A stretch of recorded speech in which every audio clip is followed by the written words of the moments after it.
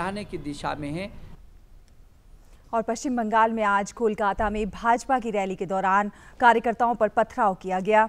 कोलकाता में भाजपा की रैली में राज्य भाजपा प्रमुख दिलीप घोष और सुवेंदु अधिकारी शामिल हुए।